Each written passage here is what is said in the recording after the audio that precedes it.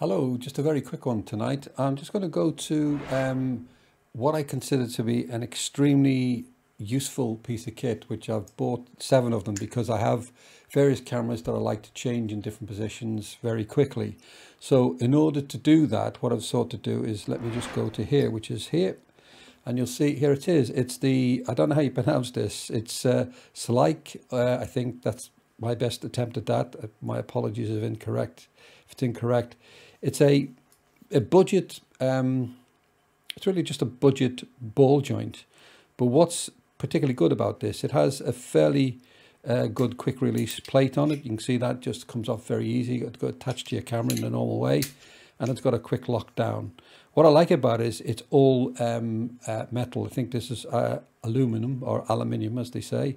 And it, it, it is very, very good. The articulation is pretty good. And you know, the way it changes. But the key factor in this for me is this locking, um, this locking arm here. If I can just show you the locking arm, that there is an extremely strong lock. And as I say, I use it as a very useful quick release for the multiplicity of cameras. You simply um, can very quickly change between different points of your studio if you have multiple places where you want to place your camera and I've gone for both expensive and cheap ways of mounting the cameras in order to do that. But I find this to be very useful to place on top of, on top of whatever mount I use and it gives me that convenience of very quickly and easily changing. I paid, uh, I think these were 27 pound.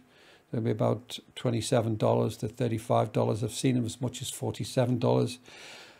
I've found them difficult to obtain. I actually, uh, there's a quite a waiting time. The last three that I bought, I've only received two of them and I'm waiting for the third one. So if you can find them, it may be easier to find it in the, in the States, but in the UK and Europe, I think they're a little bit more difficult to find. Highly recommend them. They're pretty solid, they're pretty weighty, and they uh, do exactly what they do on the tin. Very useful. So best of luck with those. I'll leave a link to um, my source, um, but as, I say, they're quite difficult to get. I wish you luck with them, uh, but as I say, I highly recommend them.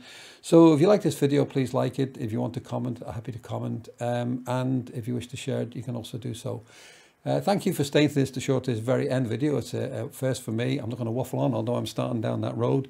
It's um, just I hope you've enjoyed this little short video, and I look forward to seeing you in the next one. And you take care in the meantime. So bye for now.